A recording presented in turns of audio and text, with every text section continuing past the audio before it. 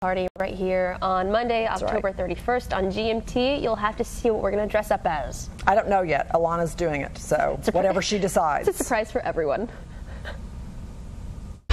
Good Morning Texas Home and Wealth, sponsored by Rodney Anderson with Supreme Lending. If you're thinking about refinancing, now is the time to take the leap and put some money back in your pocket. Our mortgage expert Rodney Anderson is here with what I see is really incredible news here, Rodney.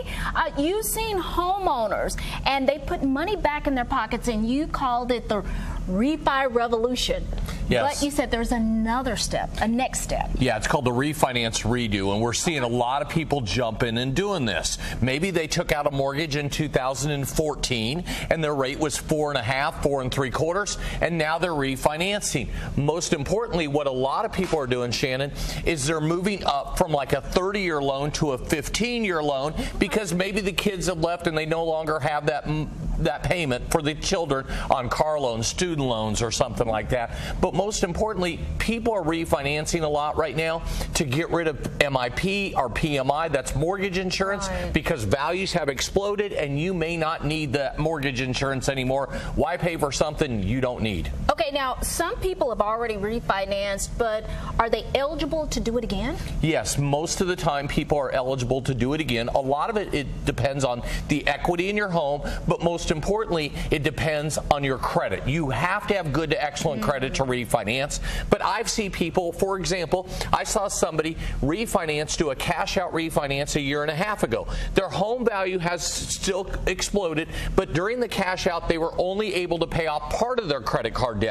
Now they're able to refinance again and pay off all the rest of their credit card debt. So this is what I call the refinance redo. Redo. Okay, speaking of redo, rule of thumbs. I know you have a few rule of thumbs and how to do this, how to make this work. Yeah, normally your rate has to drop. It depends on how much you owe. Mm-hmm. But if you owe about $200,000, normally your rate has to drop at least one to one and a quarter percent to make it worth it. But there are other opportunities. Maybe you have a first and second mortgage, that that second mortgage is at a higher rate and you want to combine them together. Maybe you're trying to do a cash out refinance to pay off the credit card debt, do home improvements. So one thing I tell people, we don't want to see this used as a piggy bank. Okay. You don't want to be a refinance junkie.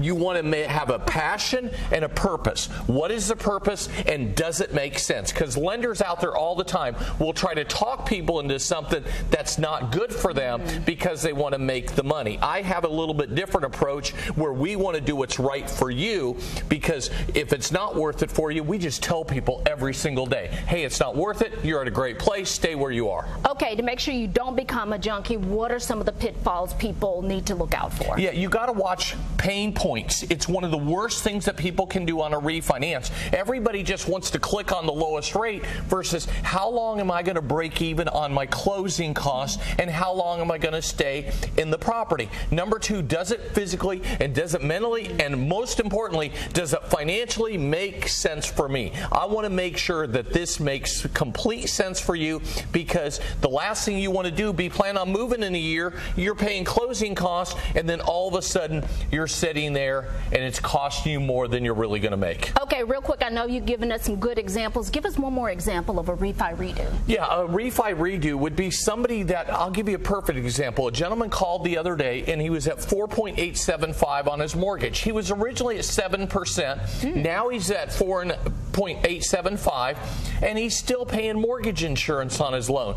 His value has exploded. He lives in Allen. Now he no longer has to pay the mortgage uh, insurance and he can drop his interest rate. That's a refinance redo. That's saving serious money. All right, Rodney, you've heard it. You can do a refi redo. You can call Rodney at 1 800 Express or go to rodneyanderson.com for more information on taking advantage of a refi redo.